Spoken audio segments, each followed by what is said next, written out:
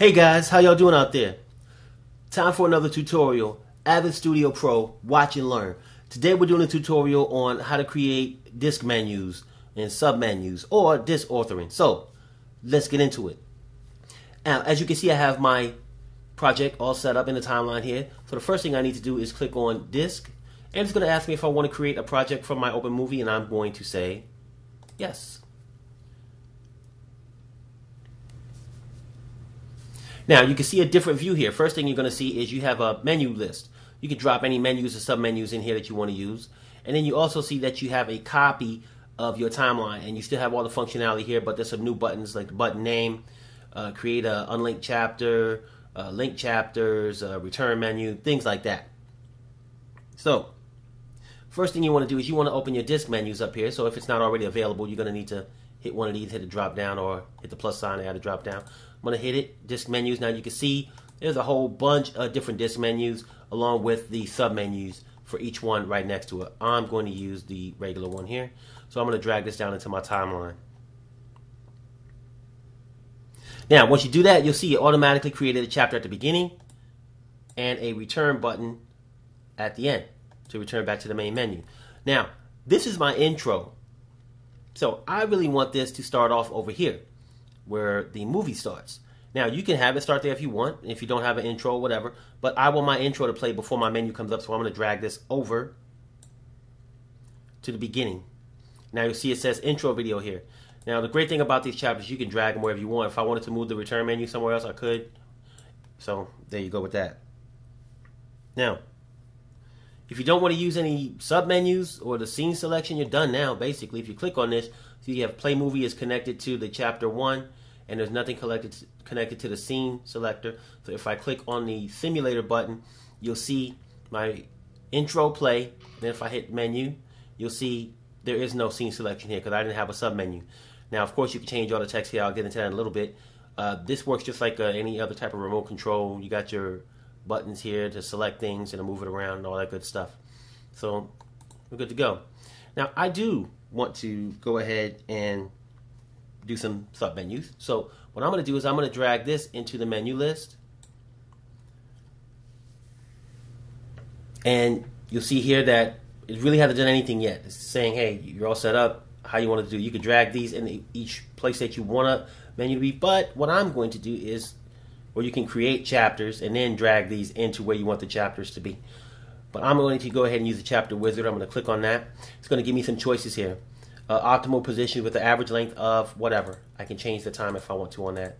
To have many seconds I want. Um, apply to the whole movie.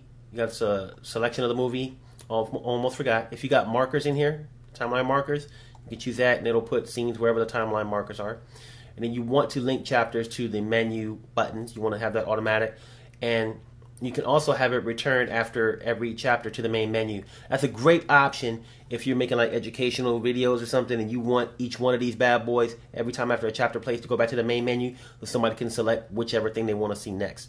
So I'm going to click OK and it's going to create them. Now you see it's creating a whole bunch of them. Well, why are they doing that? Well, each one of these only has three videos, right? So you'll notice that since it's every 10 seconds, it needed to do 3, 6, 9, 12, 15 chapters. So it has six menus here. But I don't need them all because you'll see here that, oh no, I got a chapter in my intro. I don't want that. So I'll basically see that it's two in. So I'm going to go to the end here and I'm going to delete these two chapters. And then I'm going to drag these over. So since it's every 10 seconds, I'm going to try to get it around every 10 seconds here. When I move that chapter 3, look, oh, my chapter 1 button is there. Because it's my main menu. It never really moved. So as you can see, as I'm moving these over, you'll see that these keep changing. So now you'll see that my menus are all set up. This is an empty one, so I'm just going to delete this one. There's nothing in it. And I'm good to go now. You'll see this section here. It says this menu is not reachable because there are no links to this menu. Well, there needs to be. I need to make the scene selection match up to them. So I need to click on this main menu. And I'm going to drag this down into this first one. and now they're all good to go. So they're all set up, all together, and I can use my disk simulator to see them. So I'm going to open this up. And now you see that. So I'm going to my intro. I'm going to the main menu. Now you see the scene selection button is here. If I hit enter on this, it'll play the movie. If I go down to scene selection and hit enter, now you see my scenes. And I can go through all of them and go back to the main menu.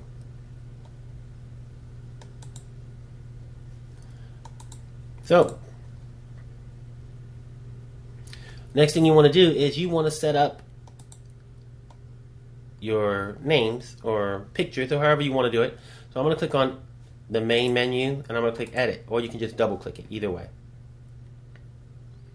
So you got your text editor here. It's just like a regular old text editor. You got your text settings here you can change up and all that good stuff. So I'm going to change the name.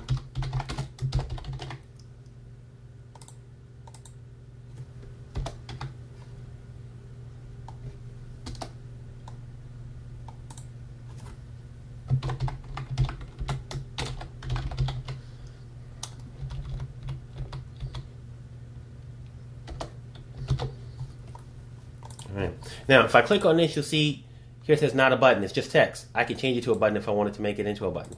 Okay. Same thing with this, not a button. But here, we have a normal button at the alpha. Okay, and it tells you what color it is when it select when they click on it, it's selected, and what color it is when you click on it. Uh, you can set it as a default still image, whatever. If it with images there, we'll talk about that in another video in the future. So what I'm going to do now, now that I have this all set up, is I'm going to choose a background. So I'm just going to go here to the tabs, choose the video I want, and drop it down into here. If I wanted to put audio, I could go up here to a tab where and select some audio and drop it into here as well. But I don't want any audio. I want it to stay like this. So I'm good to go with this. So I'm going to click OK. And if you want to do your sub menus, you can click double click on that or click it once and then click edit. Change your text here as well. If you wanted to change the chapter name chapter numbers, you could to different names. If you wanted to change them to different names, just click double click on it and you can change the text there. And you can have different backgrounds here. You can drag whatever background you want into there.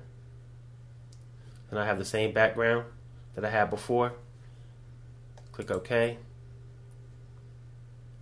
And then you can do that with each of your submenus and you're all set up. So, that's it. How to create a disk menu.